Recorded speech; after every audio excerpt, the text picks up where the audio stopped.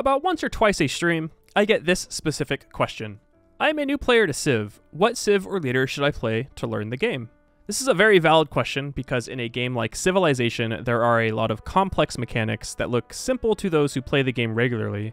But for those that haven't played Civ, let alone a 4X strategy game ever, you might as well be asking them to review the code of the game. Now, my response to this question, without fail, is our dear Emperor Trajan of Rome. There are a couple other civs I usually recommend as well, some of those being Japan, Germany, but above everyone else, Rome is by far the best civ at learning the game. In this video, I'm going to go over why Rome excels at this, why they're the best civ for new players, and why they're the perfect example of a solid, good civilization. If you're not familiar with me, I'm Boes. I play Civ 6 on Deity every week on my stream at twitch.tv slash Boesthius. I have around 3k hours in this game specifically of Civ 6. Probably close to 10k with the entire Civ franchise as a whole, but you know, they didn't really keep track of hours back then. Uh, what I'm saying is I don't have the end all be all knowledge on the game. Uh, that's what makes this game and franchise so great is that multiple people can be correct about the same exact issue.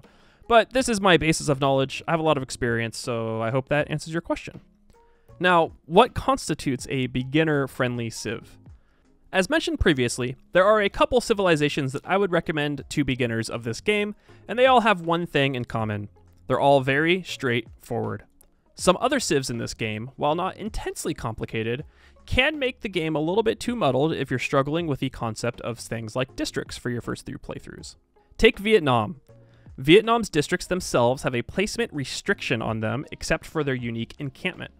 Now, you might be thinking to yourself right now, okay, well, that's obvious. It literally tells you in the text. And while you may be right, the average player in Civilization 6 may not realize this, and they may just gloss over text. Take into consideration Steam achievements and Steam charts. This doesn't include Epic Games and console players, that is a large portion of players, but only 5.9% of all Civilization players on Steam have beat the game on deity difficulty.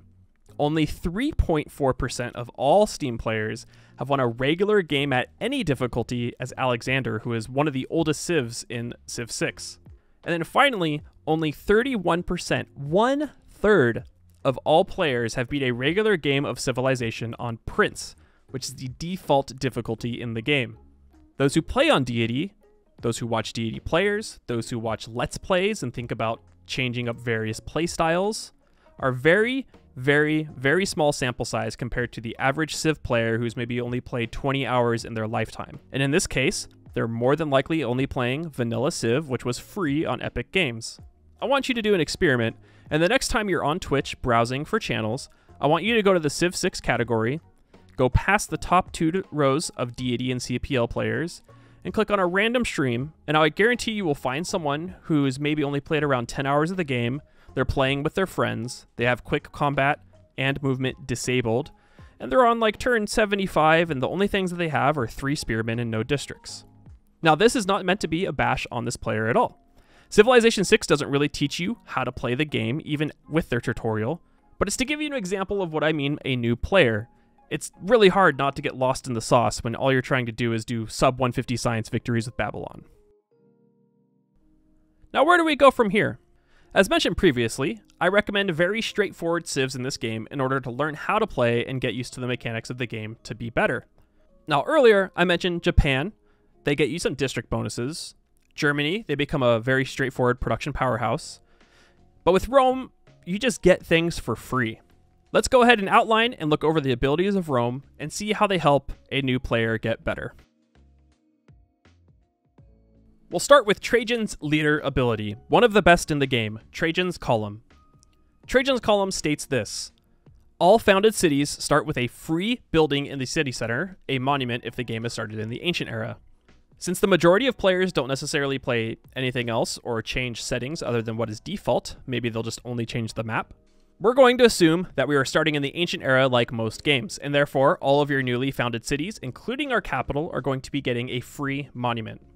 Now, if you've played Civilization 5 before, you'll understand how strong this is. I mean, the final patch of Civ 5 reworked tradition so that you wouldn't get a free monument in your first four cities too early, since going tradition was so strong at that time. Why was this a big deal? Monuments in Civ 6 are one of the most important buildings in the entire game specifically because of how the early game works. There are multiple dedicated videos on YouTube about which building you should build first. Should you build a monument first? Should you build a granary first? This discussion still goes on today. I am Team Monument, by the way. Monuments give you plus one culture, plus one loyalty per turn in the city, and if that city is at 100% loyalty, it gives you plus two culture. This may seem like nothing at first. You're like, okay, that's one extra culture. But in the early game, specifically the ancient era, that one additional extra culture immediately right off the bat is one of the strongest yields that you can get. As it turns working Code of Laws, the first civic, to about 6 to 7 turns instead of around 10 to 11 turns, which allows you to get to political philosophy faster. This whole discussion will be saved for another video, but culture for me is king in Civ 6, especially in the early game the too long didn't read version is that it doesn't matter how fast you can research, you can only work so much production with a few cities. But culture doesn't care about production, because culture cares about policy cards. Now, that's obviously not the end all be all, but if you can get to political philosophy about 15 turns faster than another Civ, you basically snowball way faster, way sooner, which is why cultural pantheons are generally picked a lot if something like religious settlements or a Civ specific pantheon, such as Sacred Path, is taken. Knowing this, and not having to take 10 plus turns to build a monument in the early game means you could just build other things. You can spend time getting out an early game army if you want to go to war. You can maybe get an extra builder, maybe even get a second settler immediately after building your first one, since you don't have to spend 60 extra production on a monument. This is on standard speed. For newer players, that's one less thing they have to worry about when it comes to memorizing and build orders in the beginning of the game. It allows them to focus on other things at hand. It allows them to stay competitive with the AI or maybe even other players without having to think about what they're doing too much. Especially when it comes to rise and fall with loyalty and that when that becomes an issue. Rome's Civ ability is incredibly powerful and that is basically unmatched by a lot of Civs in the game. All roads lead to Rome. Founded or conquered cities start with a trading post, and if they are within the trade route range of the capital, a road is built to it. Trade routes generate plus one additional gold for Roman trading posts as they pass through. This in itself is incredibly powerful. It allows Rome to basically be an early game domination force, as they have the power to back up their reinforcements very, very fast. The first aspect of this, in the name of it, is roads. You can only build roads in Civ a few ways. You either use a trade route that creates a road as it passes through tile through tile, or you can use a military engineer where they have two charges available and you can use up one of those charges to place a road individually on the map. Districts also automatically create roads on their tiles if you did not know that too. Now this has incredible advantages as roads help unit movement on the land, allows them to not use up their valuable movement points when attempting to cross terrain such as forests, hills, rivers, etc. Now, for example, here, a warrior has two movement points that can be used in order to move across the map. Moving across one flat tile that does not have a feature on it only costs one movement point, which means you can move across two before spending all of your points. Now, attempting to move onto a hill that is only one tile away from your warrior will use up all of your movement points as it costs two in order to do so. Roads allow you to bypass the movement limitations of these features and tiles, meaning that if you have a road that goes through a hill or a forest, you will move along these roads as if they are flatland tiles, ignoring these limitations. Roads only get better as the game goes on, as they are upgraded through eras. If, for example, they allow you to cross rivers using only one movement point, or they cost less throughout the game. Now, Rome gets this for free. Again, as I stated earlier, getting things for free is better than not getting things for free. And this is just another thing that Rome does, whether or not you settle the city yourself. The caveat is that obviously it has to be within this trade route range of the capital, which is 15 tiles. Now, it doesn't sound like a lot initially, but this is in a radius and will probably encompass your entire empire that you create if you're not doing like a full-on domination game. On top of this, the cities start with a trading post, which is, if you're unaware, a quote-unquote building that sort of sits inside the city center that extends the trade route range of the original trade route and acts as sort of a reset of that range. Uh, these are created when a trade route is finished. This also provides plus one gold to the trade route passing through it, in which Rome's ability stacks with it and provides plus 2 gold in total. Uh, too long didn't read, free equals better. For a new player, since there is so much to memorize and remember in the first place, being able to move around freely with the roads, not have to worry about trying to strategically set up roads via trade routes, is once again another aspect of the Civ that just gives blatant early game advantages for the inexperienced. The unique Roman unit, the Legion, ranks up there with one of the best units in the entire game, uh, especially for units in their era. This unit replaces the swordsman and is better than the swordsman in about 99% of their aspect, so let's go ahead and just compare them really quickly. A swordsman costs 20 iron, but a legion only costs 10 to build. A swordsman has 35 combat strength, but a legion has 40. Both of them have plus 5 combat strength versus anti-cav. Uh, a swordsman does only cost 90 production, and the legion does cost 110. The legion also has a builder ability charge. Now you can only use this to create a Roman fort or clear the terrain. It can also repair just like a builder does too. Now you can see here that the Legion is just basically a better swordsman. The only downside for the Legion is that it does cost 20 more production, uh, but that only really means you're going to be, uh, if you are hard building it, taking about one to just around two turns slower than a regular swordsman. This, however, it's usually made up by the fact that it only costs 10 iron to build them, so you'll usually be able to build legions faster, or if you have already built a couple warriors, you can upgrade them faster than you would uh, with a regular swordsman. Now, for beginner players, legions are just a very straightforward unit. It's a better swordsman. It costs less iron to build. It does a lot of damage. One of the big things too is it's also in the same exact spot on the tech tree as a swordsman is. That way you don't have to go up and down the tech tree to get random units such as like impis or kevsers, for example.